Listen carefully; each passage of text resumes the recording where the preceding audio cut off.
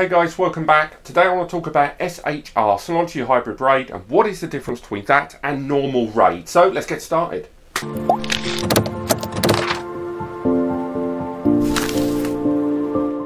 So, Synology Hybrid RAID, or just SHR, has actually been around for a while. I think it's been more than two years since Synology first adopted it on their NAS platform, and it's pretty much available on all of their NAS devices, even the ones that use pretty crappy CPUs like a few ARM V7s in the DS216J and stuff like that. Um, in the long and short of it, SHR or Synology Hybrid RAID is their own proprietary version of what you know is largely regarded as RAID technology. Now, RAID stands for Redundant Array of Independent Disks or if you're old, old school, redundant array of inexpensive disks. Now, RAID was originally created because a lot of hard drives were very small indeed, and larger hard drives cost a great deal more money. So, what they did is they would combine the, array, um, the available storage on multiple drives to create one super volume and this worked out a little bit more cost effective and often improved performance. On top of that, one of the other major benefits of RAIDing, if you move away from that single RAID, single drive architecture, what you can do is if you've got data across a bunch of drives, what RAID can do is save you from hardware failure and inevitably the loss of your data. So if you're if the data you're putting on your NAS is incredibly important, mission critical, uh, almost you know irreplaceably valuable. And by that I don't just mean it's got pictures of diamonds but I mean it's pictures of your kids that you can't replace. No insurance is going to pay out for that.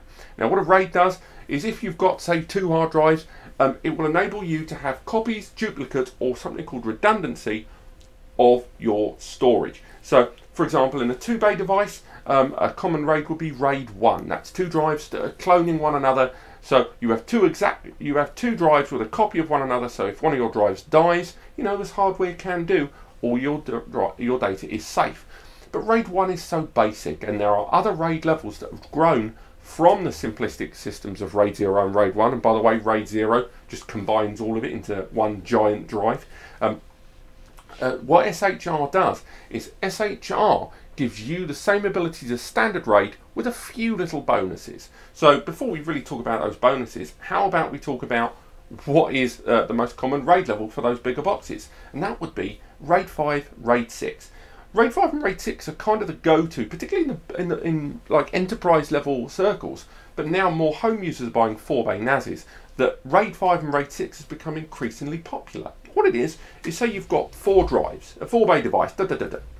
Now, in a RAID 5 environment, what happens is every time data is written to the drive, just imagine it as a sweep of data being written. Data is written across those first three drives. So it's one giant drive you're seeing, and data is written across the first three drives. And on the last drive, it doesn't write that data. What it does is put something called parity. Parity is kind of like a blueprint of the data that's been written on the other drives in this wave. So you have three drives with actual live data and the last one with a little blueprint of the data that's on those three so far. When the next wave of, write, um, of writing the data comes along, same thing happens, but this time the parity skips to a new drive and the data is written on the other three.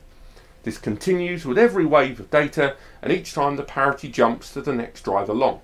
The result is that if one of your drives fails, say drive 4 fails there, not only have you got data still on those first three drives, but the system can rebuild the data that was lost on that fourth drive utilizing the parity on the remaining drives. And the result is your data is protected. And that is a RAID 5. In essence, a RAID 6 does exactly the same thing, but with two drives of parity.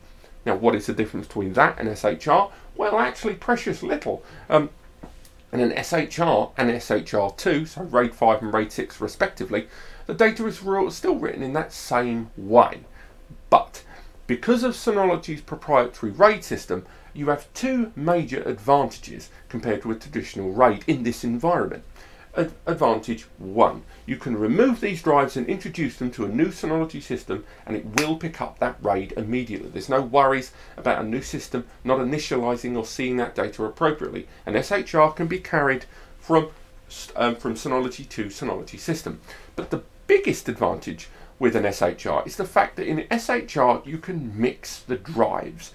In a traditional RAID volume, you cannot use different drives. So by different drives, I mean different capacities, different brands, different speeds. You can't put a WD red with a Seagate blue with an HGST desktop. You can't do that in a traditional RAID. If you do try to construct a RAID with mixed drives, all the drives will be seen as the lowest drive. And by that I mean if one drive is 1 TB and the rest were 6 TB drives, your system will only see them all as 1 TB. It will see them all as the lowest denominator of those drives. In SHR, however, you can mix and match any drives you want. And although you're not going to do that from the day one, why would you do that and put mixed drives originally? You'll get a better bargain getting a rack of drives. But two to three years down the line in an SHR, maybe you get some new hard drive. Maybe some of your drives come out of warranty. Or maybe you find a good deal online and you suddenly want to replace a few drives with bigger, better 8, 10 TB drives. In an SHR, you can introduce new drives and the system will recognize they are bigger drives and it will incorporate that into the RAID. Now if you introduce one bigger hard drive you don't really see much of a difference but the minute you start including more and more bigger drives as they become available or maybe you're um, merging from an old system and utilizing your old hard drives an SHR will take advantage of the additional storage or the additional speeds that become available to you with those bigger and better drives, whereas a traditional RAID uh, volume will only see those drives once again as the lowest common denominator amongst them. So that's really the biggest difference between SHR and traditional RAID. Of course, there are other RAID vo volumes out there. We didn't discuss RAID 10, 50 or 60, but SHR still covers those neatly. SHR, you've really got to think in terms of RAID 5 and RAID 6. So um, although an SHR is the same as a RAID 5, uh, a RAID 1 for example, so an SHR on two drives, it will instantly treat them the same as an RAID uh, 1 would. In an SHR equivalent with two hard drives, that what you can do is start introducing new drives. Now I know what you're thinking, there's only two drives to, to contend with there, why do I care? Well it makes upgrading to the new drives infinitely easier. So if you've got a two bay system in a RAID 1, so a couple of drives, if you want to introduce new drives, what you end up having to do is, you know, remove one of the drives, or power it down, remove a drive, install the new drive, and the system will go, oh, we lost the drive, the RAID's in trouble, um, and it will see the new drive that you've installed, the bigger drive, and it will try to rebuild the RAID, but it will only see the new drive in whatever small size or whatever the old drive was. Then you remove the other drive, introduce another new drive, and you're going to have to start um, removing, um, uh, what's it called, partitions, on those drives as well and it's a very finicky process and it's a lot of mucking around and it does it makes a very unstable RAID in the interim and the last thing you want when transferring data from old to new drives in this fashion is um, an intermittent or problematic RAID. Now with an SHR what you would do in a two bay system is once again you would introduce a new drive into bay 2 and yes it will say oh there's a problem with the RAID and we can't find that second drive but it's not the end of the world because in this scenario it will identify that new drive in its full size and its full speed immediately. So straight away you can see the new, if you had a 4 TB drive and you've introduced an 8, you can see that 8 TB, hey kitty, how's it going?